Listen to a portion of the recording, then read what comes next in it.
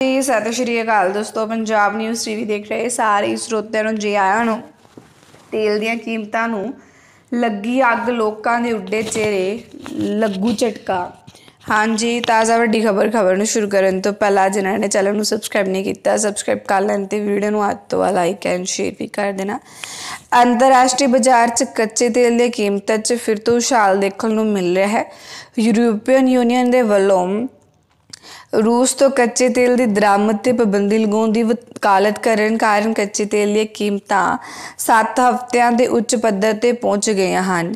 Bread crude oil ਦੀ ਕੀਮਤ 115 dollar ਪ੍ਰਤੀ barrel ਨੂੰ ਪਾਰ ਕਰ ਗਈ, ਜੋ ਕਿ 28 ਮਾਰਚ ਤੋਂ ਬਾਅਦ, ਸਭ ਤੋਂ ਵੱਧ ਇਸ ਤੋਂ ਪਹਿਲਾਂ ਯੂਕਰੇਨ ਤੇ ਰੂਸ ਦੇ ਹਮਲੇ ਤੋਂ ਬਾਅਦ ਕੌਮਤਾਰੀ ਬਾਜ਼ਾਰ 'ਚ ਕੱਚੇ ਤੇਲ ਦੀ ਕੀਮਤਾਂ 2008 ਤੋਂ ਬਾਅਦ ਪਹਿਲੀ ਵਾਰ 139 ਡਾਲਰ ਪ੍ਰਤੀ ਬੈਰਲ ਦੇ ਸਭ ਤੋਂ ਉੱਚੇ ਪੱਧਰ ਤੇ ਪਹੁੰਚ ਗਈ ਸੀ। ਰੂਸ ਤੋਂ ਕੱਚੇ ਤੇਲ ਦੀ ਦਰਾਮਦ ਤੇ ਪਾਬੰਦੀ ਲਗਾਉਣ ਦੀ ਮੰਗ ਕਾਰਨ ਕੀਮਤਾਂ ਵਿੱਚ ਵਾਧਾ ਹੋਇਆ।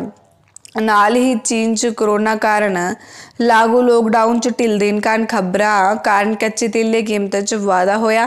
ਦਰਅਸਲ ਜੇਕਰ ਚੀਨ 'ਚ ਲੋਕਡਾਊਨ ਵਿੱਚ ਢਿੱਲ ਦਿੱਤੀ ਜਾਂਦੀ ਤਾਂ ਇਸ ਨਾਲ ਕੱਚੇ ਤੇਲ ਦੀ ਮੰਗ ਵਧੇਗੀ ਤੇ ਸਪਲਾਈ ਦੀ ਕਮੀ ਕਾਰਨ ਕੀਮਤਾਂ ਵਿੱਚ ਹੋਰ ਵਾਧਾ ਹੋ ਸਕਦਾ ਹੈ। ਖਬਰ ਲਾਸਟ ਤੱਕ ਦੇਖਣ ਲਈ ਤੁਹਾਡਾ ਬਹੁਤ